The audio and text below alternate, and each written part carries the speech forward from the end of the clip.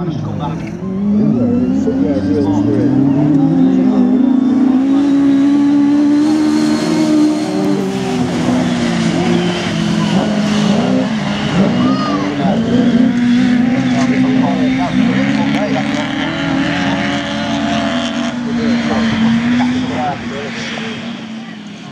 Yeah, I'm a huge guy.